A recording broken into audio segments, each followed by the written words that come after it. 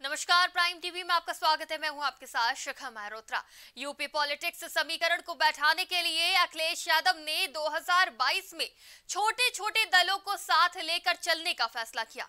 गणित के पैमाने में इसे वोट बैंक को बढ़ाने का सटीक फॉर्मूला माना गया, लेकिन जो अनुमानित, यानी कि एग्जिट पोल सामने आए हैं, उसमें अखिलेश यादव इस फॉर्मूले को सही साबित नहीं हो रहे। यानी कि अखिलेश यादव का ये फॉर्मूला सही साबित नहीं होता नज़र आ रहा है। क्या है पूरा मामला? एग्जिट पोल क्या कहता है? देखिए इस रिपोर्ट में।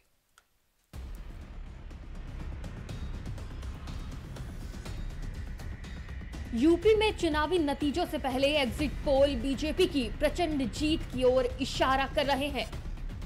वहीं समाजवादी पार्टी इस बार भी नंबर दो पर सिमटती हुई नज़र आ रही है।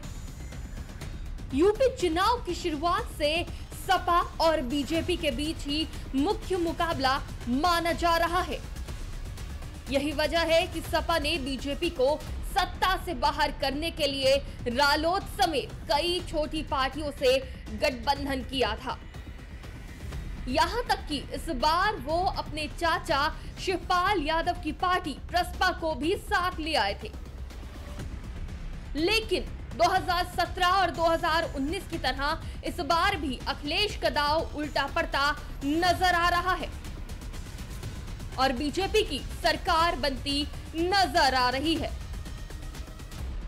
सपा ने इस विधानसभा चुनाव में बीजेपी को सत्ता से बेदखल करने के लिए रालोद सुभाषपा महान दल, अपना दल, कमेरावादी और प्रगतिशील मोर्चा से गठबंधन किया। सभी पार्टियों को सीटें भी दी गई, लेकिन एग्जिट पोल के आंकड़ों के मुताबिक सपा का गठबंधन जनता को पसंद आता हुआ नहीं दिख रहा है। यही वजह है कि सपा को इस बार भी नंबर दो की पार्टी के तौर पर संतोष करना पड़ सकता है। India today express my India के अनुमानित सर्वे के मुताबिक बीजेपी को 288 से 326 सीटें मिलती दिख रही हैं। वहीं सपा इकहत्तर से 101 पर सिमटती हुई नज़र आ रही है। यानी 2017 की तुलना में अखिलेश यादव की सीटों में इजाफा होता दिख रहा है। लेकिन सत्ता की कुर्सी से अभी भी बेदखल ही नज़र आ रहे हैं अखिलेश। 2017 में सपा को सैतालीस सीटें मिली थी। वहीं वोट प्रतिशत की बात करी जाए तो 22 से 36 प्रतिशत होने का अनुमान है। बता दें कि ये पहला मौका नहीं है जब अखिलेश यादव का गठबंधन फॉर्मूला फेल होता नज़र आ रहा है।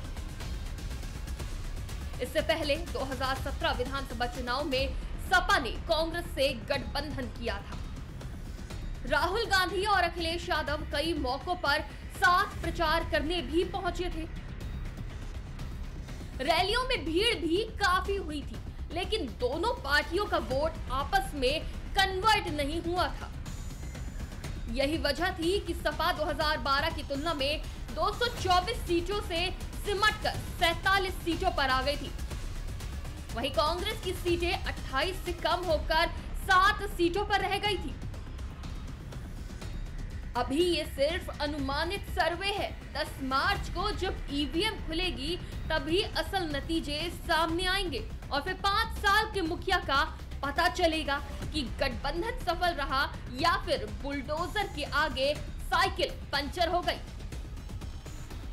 प्राइम टीवी के लिए आरती तिवारी की रिपोर्ट।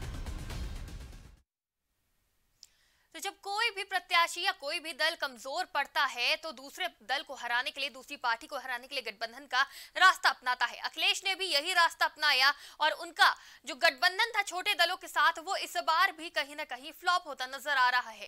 क्योंकि जिस तरह से एग्जिट पोल यानी कि अनुमानित आंकड़े सामने आ रहे हैं, वो बीजेपी को ही पहले नंबर पर दिखा रहे तो वहीं अखिलेश को दूसरे नंबर पर दिखा रहे हैं। लेकिन अगर बात करी जाए पिछले चुनावों की तो पिछले चुनावों से इस बार कहीं ना कहीं आंकड़ों में जो अखिलेश के पास सीटें जाएगी उसमें बढ़त तो ज़रूर दिखेगी लेकिन क्या वो पहले नंबर पर आते हैं या दूसरे नंबर पर सिमट के रह जाते हैं इसका फैसला दस तारीख को होगा। तब तक के लिए हर चुनावी अपडेट के लिए देखते रहिए प्राइम टीवी।